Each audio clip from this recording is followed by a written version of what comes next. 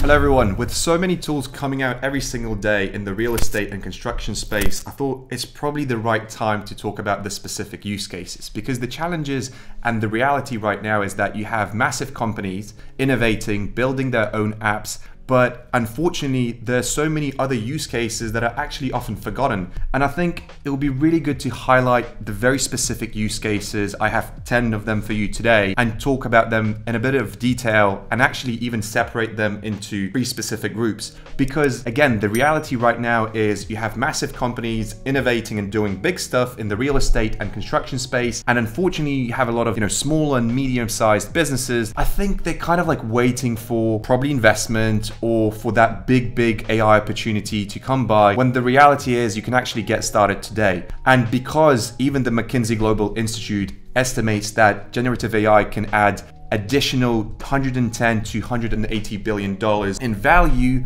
that seems like a lot right so i do think it's important to talk about the specific use cases and i guess let's get going so group number one the first group is going to be really really simple see it as you know, if you have just one week or two weeks and you want to get started, you don't want to invest way too much, but again, you want something practical that actually obviously adds value to your business. So number one is no code AI powered copilots and chatbots. Now, when I was planning this video, I thought, let me actually talk about the specific tools. But as I was planning it, I understood, no, let's stick to the very specific use cases because if I try to, you know, promote a specific tool, I'm a bit worried that it might not fit your business specifically, your workflow and your operations. So, no code AI powered chatbots and copilots. Basically what this means, imagine if there's a chatbot that can serve as a 24-7 tenant assistant, maintenance requests, payment processing, and any other issues like that. You find a tool and then one by one you structure the whole, you know, future dialogue and all of your tenants could ask those questions and essentially talk to that bot. Simple words, it works like uploading data to a brain, right? You upload a PDF file and then the bot actually knows what to answer, how to answer. And it is kind of like a two-way conversation where any of your tenants could find and ask any of the information. Super easy to build. There's so many tools out there. This can be definitely done, you know, under a thousand dollars. Takes around, I would say 20 to 30 hours to set it up add all of your info that's it and the reality is based on you know experience is you actually probably and realistically can cover 80% of those requests and questions. So imagine if your customer support team can only handle the remaining 20%, that's already amazing, right? And this kind of leads me to the second use case, which is very similar if you think about it, but it's different, at least the way I see it in the real estate and construction space, which is dynamic FAQs with AI co-pilots. Now, it might have a very similar interface, or this is just going to be a separate web page on your website or your app where a person just asks a question. Now, imagine your tenant moves into your flat or house and then says, you know, what's the closest park or what's the closest shop or anything like that. So in this case, this is not really going to be a sort of two-way conversation. This is just going to be your tenant asking questions and then the co-pilot getting back to the person and saying, hey, this is 300 meters away. This is 400 meters away. So it has a lot of similarities, obviously, with the chatbot, but again, this could be just like a very traditional FAQ section. You keep updating it with new knowledge every single week. And same as previously, can be done five hours, six hours max. And that will cost you, my estimate is definitely under $500 if you hire any freelancers or even do it internally. Then it's technically well, free, right? You pay people, but it's free. Now, on to the next one. This one is very interesting because we've been working previously with people and real estate people are saying that they're getting a lot of questions from tenants asking all of the legal stuff, right? And the real estate agents are coming back to their tenants and saying, hey guys, everything is in the contract. And this is where I think this is genius. And again, very, very simple. There are a lot of ready tools that you can use on a subscription basis, cost you like five, ten dollars a month, which is essentially AI-driven document handling. In simple words, this means that you send a contract to your tenant, the tenant opens it, and instead of going through 20 pages, the person can ask any of the questions regarding the contract, any of the very legal, you know, detailed bits and get an answer straight away.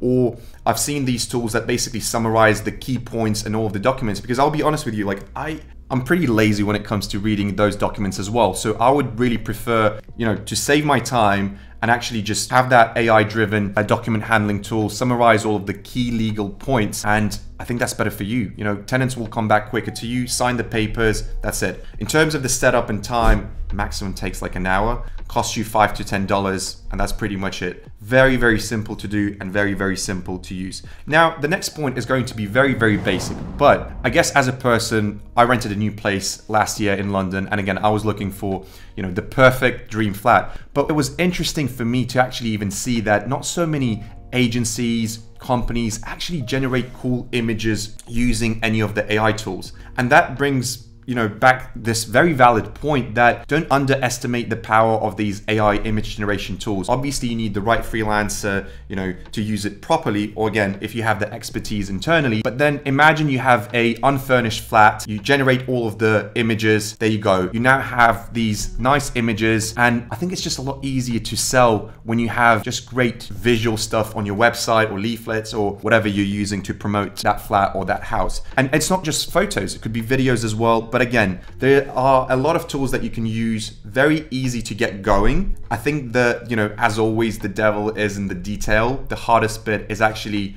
being good at it. But again, in terms of hiring people, look, I would say five hours is definitely enough to generate content, images, videos, probably for a month. There you go get going and it looks way way nicer and doesn't cost you much. And then the fifth case is actually you know slightly similar i would say is creating virtual tours and interior designs using some of the tools. It's been insane actually how now a lot of the construction companies and you know real estate companies are generating these virtual tours and essentially selling the flat or the house before even building it. I mean, I, I, think I think this is just so so cool. Relatively cheap to do. Takes a week or two to set it up and use some of the tools. 99% of them are on a subscription basis, and that's pretty much it. You can get going straight away. Now, let's talk about the second category because I think we've went through some of the simple ones that you know you can implement literally this week or next week. But these ones that we're going to talk about now, I'm going to call them complex integrations, right?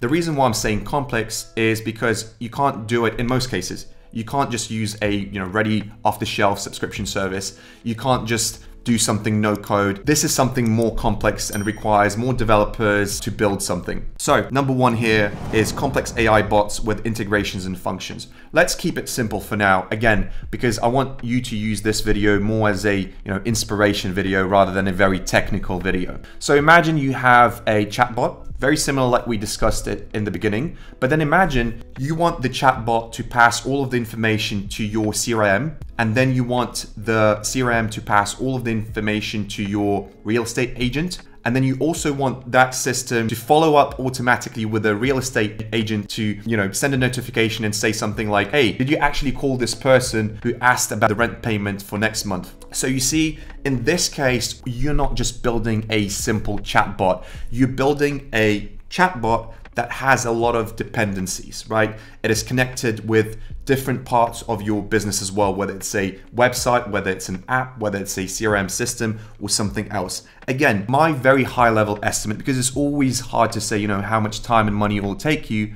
Based on my experience, I would say you need at least two months to do it properly. But if you're trying to look for a solution, you know, with all of the bells and whistles, four months. So if you're looking for something that, you know, will help you like really, really automate your business, I would say two to four months. Again, we're talking about very complex solutions there. Now, on to the next one. I really like this one because I mentioned earlier, this is something that I've been doing last year when I was looking for a new flat in London. AI enhanced property search. This is the best thing I honestly think from a consumer perspective because no matter what you're doing, whether you're selling flats, houses, I don't know, vacation homes, the best thing here is actually letting the person find something in one minute. I can't even, you know, emphasize enough. I got so, so tired, you know, going through all of these pages. Each website has 60 pages, all of these listings, and it just annoys me a lot. What you can do with all of your data, again, no matter what you're selling, is build solutions so that then you can essentially, let's call it smart filters, right? Or AI search, however you want to call it. I go onto this website and I say, I'm looking for a flat that is maximum 10 minutes from a park and five minutes away from a tube station. And there you go. Instead of me spending an hour searching for that, you know,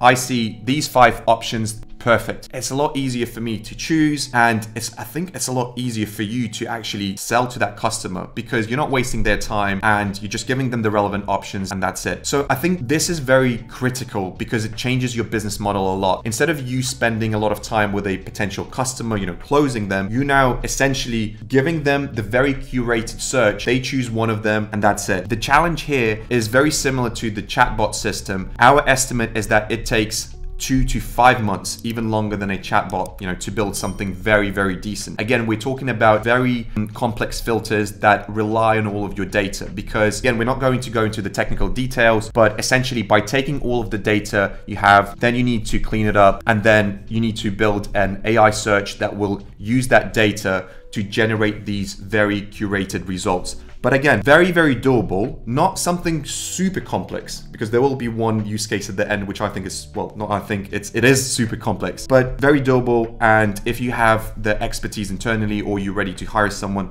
I would definitely do it. Next one, automated valuation models. Now this sounds, I know, a bit probably too smart and a bit vague, but you've probably seen it in the hotel space, right? You go on booking.com or you go on any other websites and they, they say something like, hey, there's a price match. If you purchase on our website, you're getting 5% off or we're going to beat the lowest price that you have found on the internet. Recently, what many of the real estate companies are doing, they're essentially using publicly available data to analyze current offerings on the market. I'll keep it simple, but imagine there's a listing in a certain area. Your competitor would actually analyze that data and then in real time, they would update the info on the website to basically, you know, either increase the price or decrease the price. And this is something that is happening because again, AI is capable of taking the data that is available out there on the internet and then you can use it to adjust your offering, adjust your pricing, and just change all of the offerings in real time. Because that is one of the ways essentially for you to either make money or lose money. Because very often what happens in the real estate and construction business is you're not responding to the like very, very real time market trends as quickly as you need to. But again, very doable and feasible to build something like a web app that analyzes real time information and offerings on the market and then updates your system automatically depending on what you're selling. Now, onto the, you know, more of the complex ones, I would say. Still not super complex, that's going to be the last use case, but tenant, property, and contractor management automation.